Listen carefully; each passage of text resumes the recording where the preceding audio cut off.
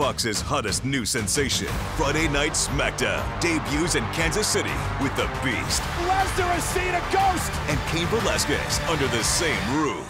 Plus, who will reign supreme as Roman Reigns takes on King Corbin.